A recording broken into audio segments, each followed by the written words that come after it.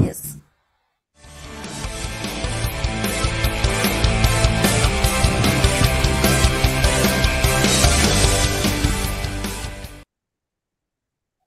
Hello dear friends, my name is Victoria Moro. Welcome to Release of the Day. Please remember to subscribe to our YouTube channel where you can keep up with the newest trend in the world of indie artists.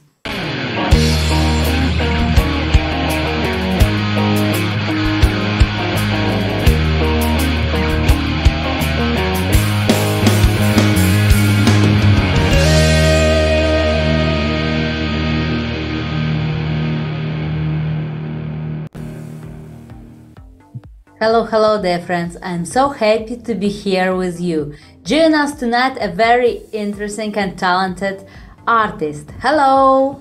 Hiya. How are you? Good. How are you? Yeah, great. Thanks for having me. Mm, are you ready to begin? Yes. Let's go. First of all, please introduce yourself. What's your name? Hi, um, my name is Ariadna, um, but I create music and animated music videos under the kind of witchy alias of Realma, which is like a little pun on um, realms, because each song is in a different genre. Yeah. Where are you from? Um, I'm originally, so I was born in Serbia, but my dad is Chinese, so I've kind of lived in between both countries. Wow. I studied in the UK as well for a bit. I plan to go back, so you can say I'm a bit of like a nomadic kind of person. wow, it's a very interesting mix actually. yeah. and what is the genre of your music? So it's multi-genre, as I said. It's kind of a bit of everything. It's kind of really mixing this kind of classical sound, I would say like the pop ballads with like film noir or elements from I don't know, one one song kind of has this kind of witchy wolf sound, another has like more of a Disney vibe. So it really depends on each song and where it takes me really. Uh, what is the last song you listened to? Oh, um, hmm, that is an interesting question. Um, Portishead, I really love their music, so I was listening to some of their old stuff, like Glory Box, and yeah, similar things. nice. And what uh, is your favorite movie or TV series? Ooh, I really love Mr. Robot. Um, it's really got that kind of millennial charm. It's also dark and yeah, a bit edgy, I guess, as well. But it's very cinematic the way it's shot. I think it really challenged the TV series form. Oh, and what about books? What is your favorite book? Ooh, I really love kind of very classical kind of, I guess, uh, a bit of Dostoevsky, a bit of um, French classics as well. So yeah, kind of old stuff, I guess. wow, Dostoevsky, wow. nice. Very nice. And what is your favorite dish? Ooh, um, I love Asian dishes, and because I I spent my early childhood in Lanzhou, which is like in Gansu province in the northern China, and there's like this special dish called Lanzhou Mian, which is like the beef noodles, which are very spicy, and yeah, I would vote that as the best dish in the world. you cook this dish at home for yourself? Um, no, it's it's very hard to do at home, but I kind of I, I do like my own little version of it. okay, nice. And are you a cat person or dog person, or you prefer other animals? Oh, um, definitely dogs because I have two dogs. One is a Samoyed, another is a blind dog we actually adopted recently. We found her in a shaft, and no one wanted to rescue her, so we went all the way down and, and saved her.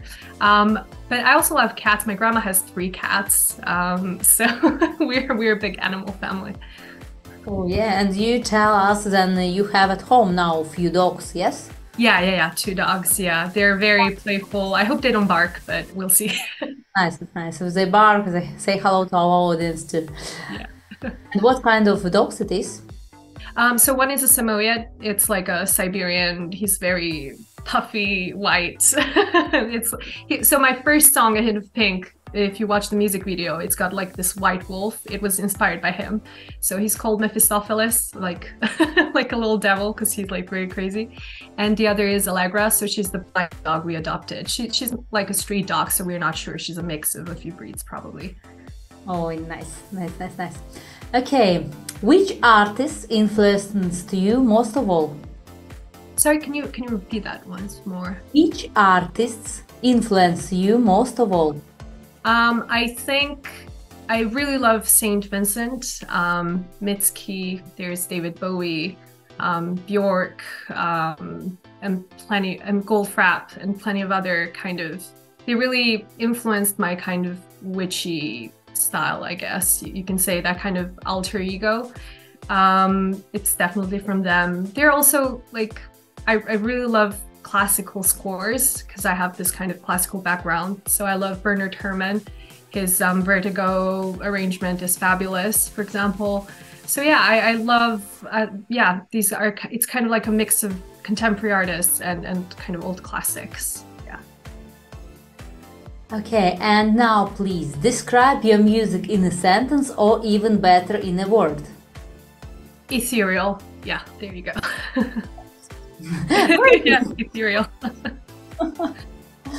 okay, and have you played any notable gigs, festivals, or other events?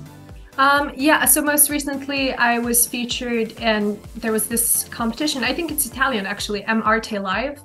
Um, so yeah, it was this big European com- like competition. It's it's not just music; it was other disciplines like street art and like sculpture, I think, and, and plenty of other um, categories. And we were featured for music videos. So I performed in Tuzla for the semifinals because we got in the top three, which was a very big um, accomplishment because I've just started with my music journey really.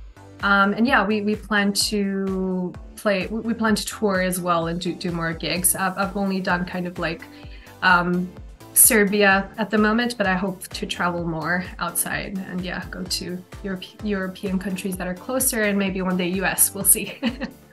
oh, very, very nice. And actually, how you understand and you want to become a musician? Um, so I I was training in music from an early age. So I started playing violin when I was very young, and then I added piano and guitar. But I didn't really plan to go into music. I studied film and drama instead.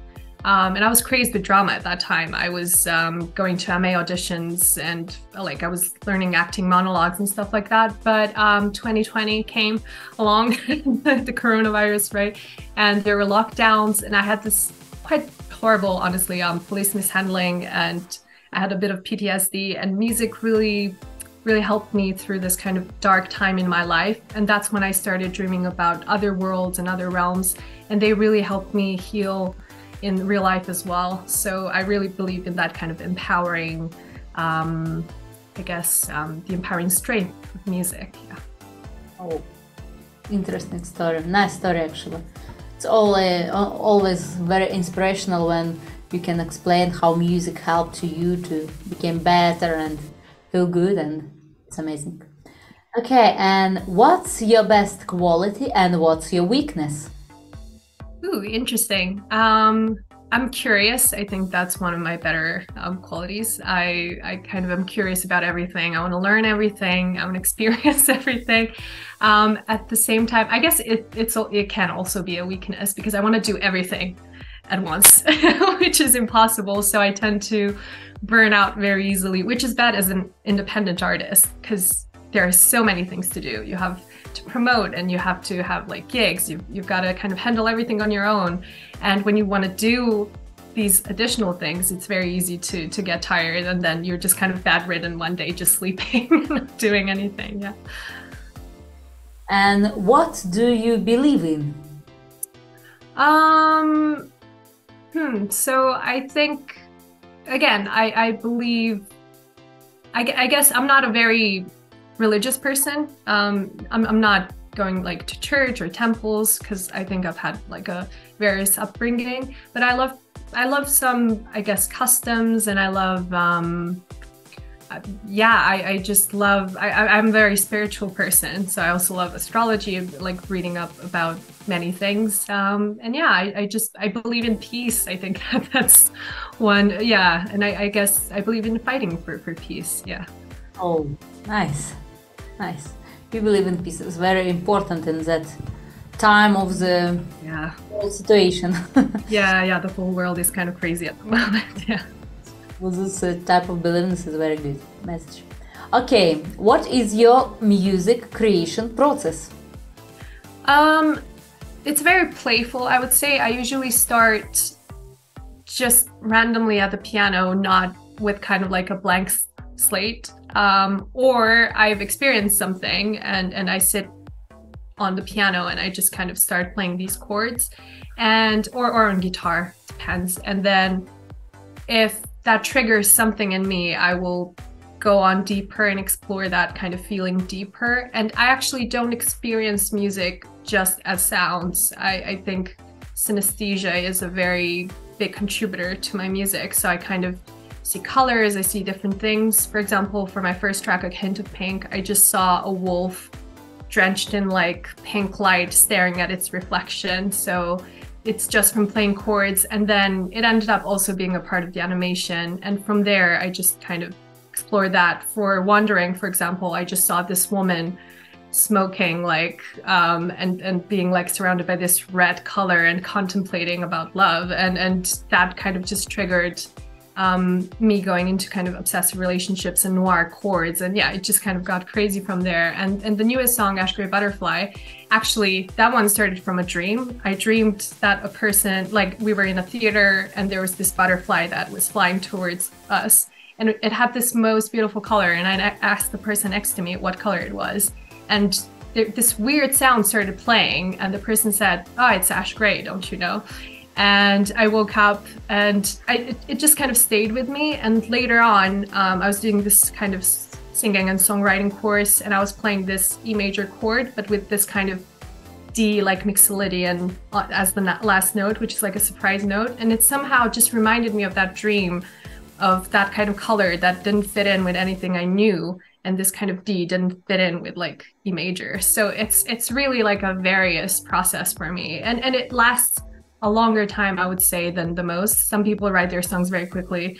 I, I really take my time to like turn them into kind of cinematic experiences. So it, it takes a couple of months, I guess, to get to the final kind of product. Yeah. Wow, amazing story, really. Very interesting because process is totally different. Yeah. part like this, part like that is uh, fantastic. Really. And now, please, if you can, sing to us 15 second one of your favorite song a cappella. Oh, um, I can do the newest because it's, um, I guess, newest. Um, let's do.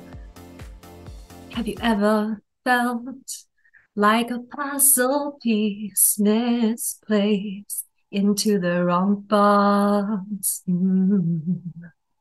Well, I always feel a bit lost, unable to fit in, unable to pretend. Oh no, I can't. And the rest you can listen to. oh, nice. Thank you so much. Thank, Thank you. Very nice. Beautiful song and a nice voice.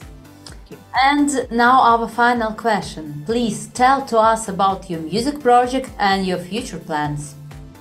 Um, so yeah, um, I've, I've started with animated music videos, and one of my biggest plans for the future is to develop these into bigger forms. So I want to take each song and kind of each of the themes and make them into comic books, video games, hopefully like a big franchise, we'll see. It's it's very hard, but that that's kind of my biggest dreams.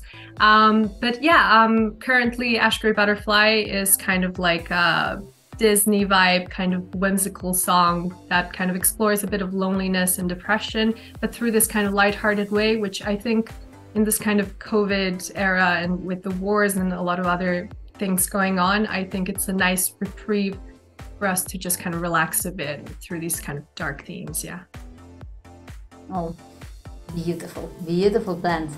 And please let our audience uh, know where they can listen to your music and which platforms you can be found on. Yeah, so um, on YouTube you can watch my music videos. We also shot some beautiful live videos, for example, one at Felix Romuliana, which is like an ancient site. Um, so just type in Realma, R E A L M A. Um, you can also stream my music on Spotify, SoundCloud. You can find me on Instagram and Facebook. And yeah, I'm, I'm mostly a bit everywhere. Not yet on TikTok, but one day maybe. and website is Uh, yeah, realmaverse.com. So yeah, you, you'll write it out. Yeah. okay. And what song are we going to listen to now? Yeah, so it's Ash Gray Butterfly, as I said, the kind of dreamy Disney vibe, witchy. Yeah, you'll see. It's a bit of everything. It's very grandiose. Yeah.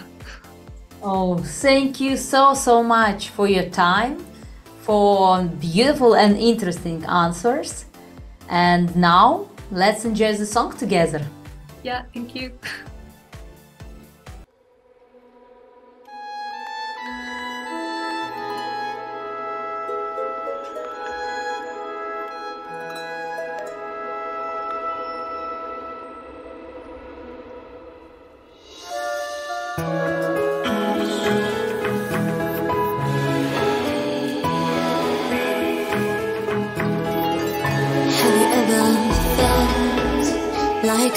puzzle piece misplaced into the wrong place?